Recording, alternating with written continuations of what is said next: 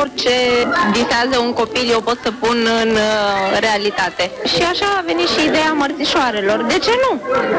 Avem nevoie și de mărțișoare comestibile. Este pentru prima dată când se fac astfel de mărțișoare în Giurgiu și chiar au prins foarte bine. Mult mai bine decât mă așteptam. Gospodina, devenită creatoare de mărțișoare comestibile, încurajată de succesul obținut, va pregăti și alte surprize. Cu siguranță deja am o mulțime de idei și de-abia aștept să le pun în practică. Mărțișorul dulce și aromat are agățat un șnuruleț și se poate prinde în piept dacă persoana care îl primește rezistă tentației de a-l mânca.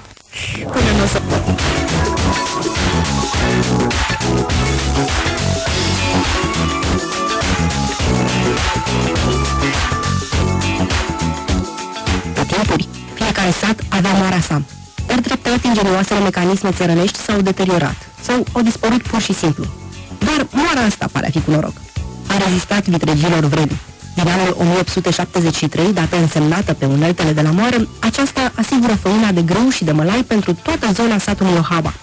Suntem nerăbdători să vedem cea mai frumoasă și mai veche moară de apă din țara Făgărașului. Primul proprietar eu nu l-am cunoscut, este străbunicul, în schimb am cunoscut a doua generație persoană care v-am spus că n-a cedat lanțului comunist, se chema Șerban Gheorghe, care a murit cu câțiva ani în urmă și a murit la o vârstă de 82 de ani.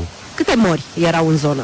Erau foarte multe mori, mi-aduc aminte cu nostalgie de anii de copilărie, că de fapt aici, în zonă, am copilărit, nu în locația respectivă, undeva următorul sat în dreapta la Șercăița.